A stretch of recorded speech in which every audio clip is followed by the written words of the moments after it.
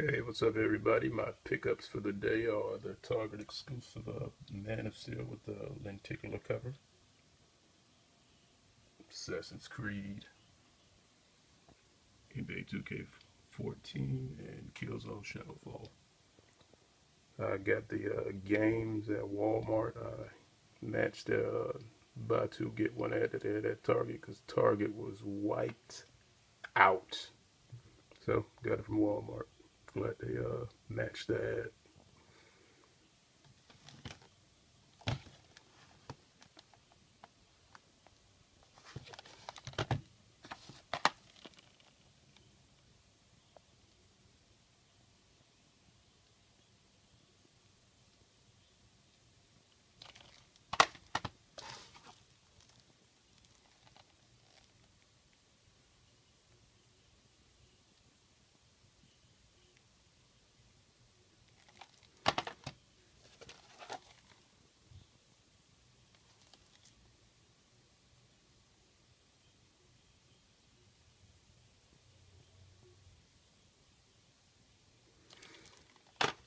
All right, that's my pickups for today.